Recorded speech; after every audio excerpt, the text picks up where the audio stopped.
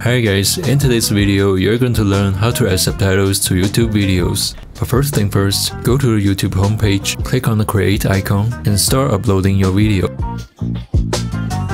While YouTube is processing your video, you can edit the title, description, and the thumbnail. Select your audience and then click show more. Under the language and caption certification, select the language that your video is going to be in.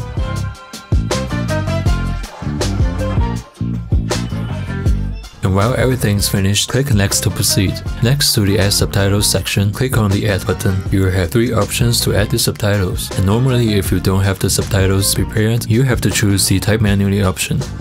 Once entering the edit window, you can move any specific subtitles to the place you want. And in the caption box, you can type in the subtitles and edit the duration.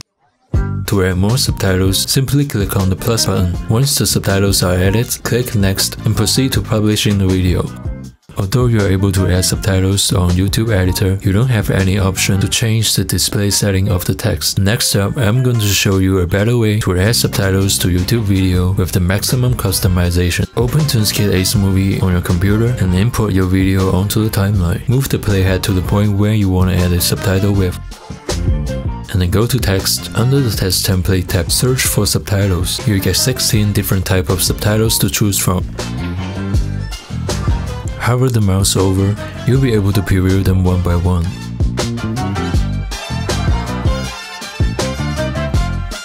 Select a template you like and then drag and drop it onto the timeline. Go to the top right panel and type in the subtitles in the text box.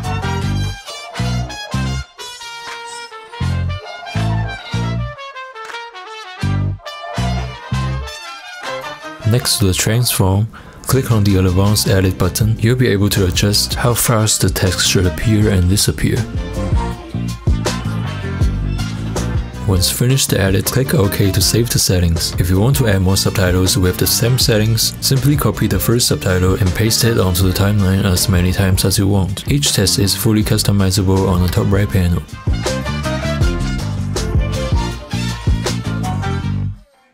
Once you finish editing the subtitles, click export and save the video with subtitle to your computer and then you'll be able to upload it on YouTube.